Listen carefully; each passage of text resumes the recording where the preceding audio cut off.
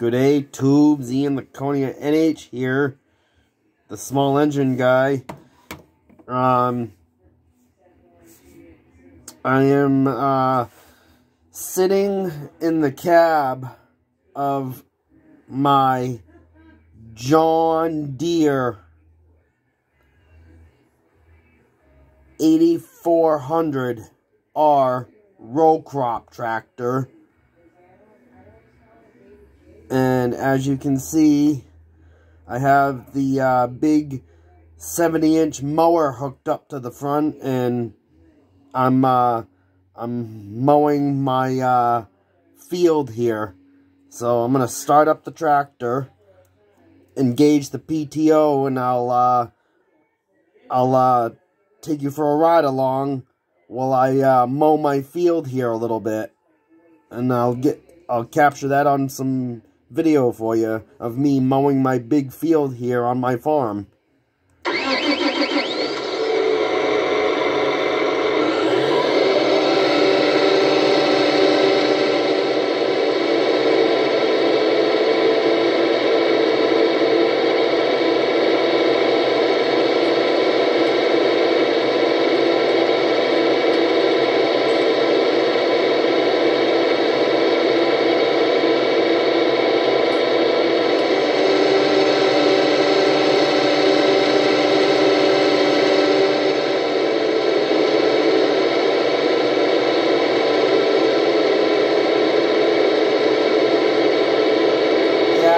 I have a 110 uh, acres on this uh, uh, farm. I got a mow.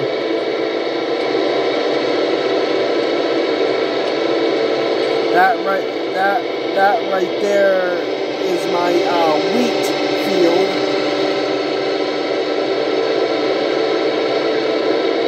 Look at this. We gotta. I gotta mow all this tall grass.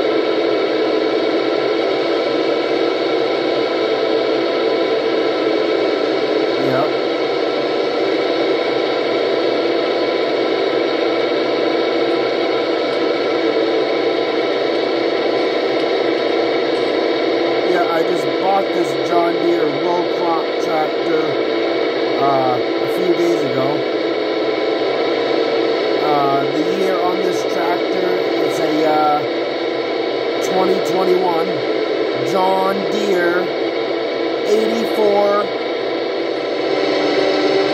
row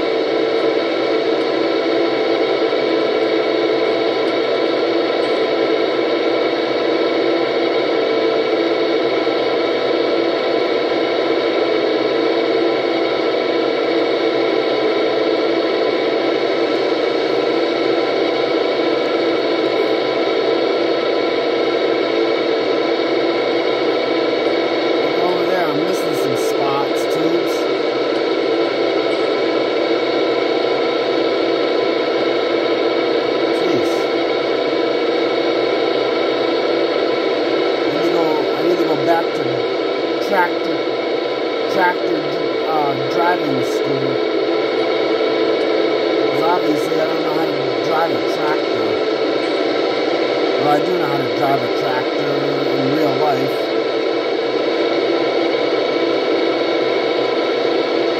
Driving a tractor is just like driving a bicycle, just like riding a bicycle. You never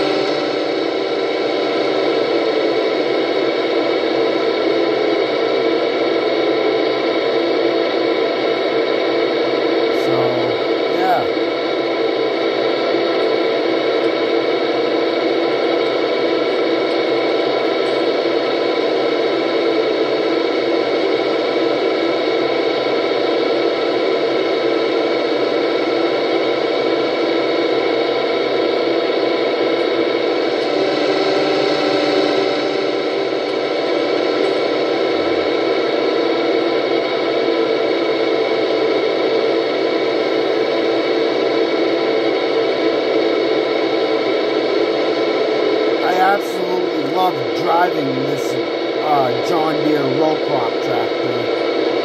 It's a it's a fun tractor to drive.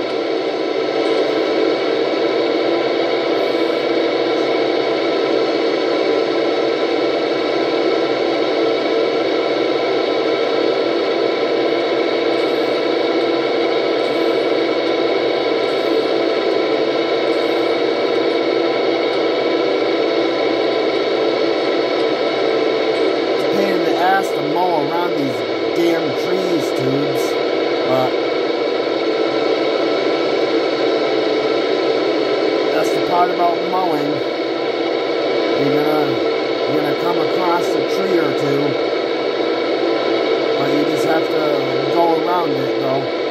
That's all. It would be more easier for me to uh, get out of this tractor if I owned a weed whacker. If I owned a weed whacker, I could just uh, keep the weed whacker inside the cab of this tractor, and when I'm mowing and I come up to a tree, I can stop, I can shut, shut down the tractor and take the weed whacker out of the cab and weed whack around the trees. But unfortunately, I don't have a weed whacker in the cab of this tractor, so I have to mow, I have to mow around the trees best I can because I don't have a weed whacker to get around the trees where the, where the lawnmower can't get.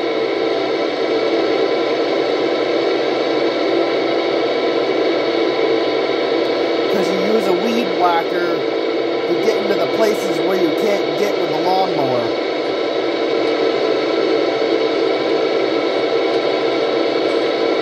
So,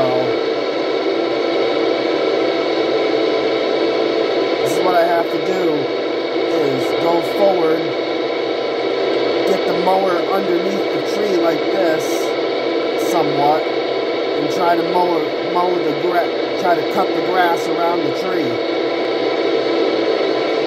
A hell of a lot easier if I had a weed whacker, so I could just weed whack around the tree instead of uh, mowing around it. But I have to do the best I can.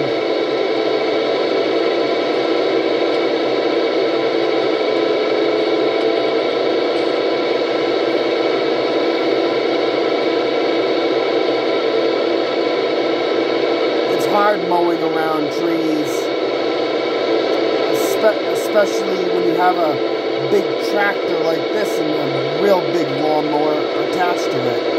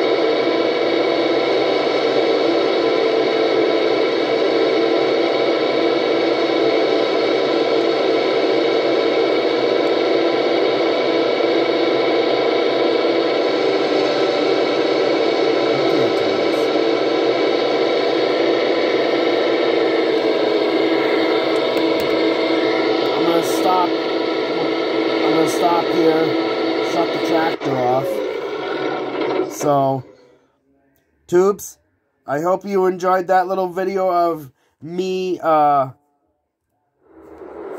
mowing mowing uh, one of my field one of my fields here with my uh, yeah that's my that's the uh, 70 inch mower hooked up to the front of my uh, John Deere 8400R row crop tractor. We'll talk to you later. Tubes, Ian Laconia, NH, the small engine guy, signing out. And I'll beep the horn for you, Tubes. Bye-bye. Ian Laconia, NH, signing out.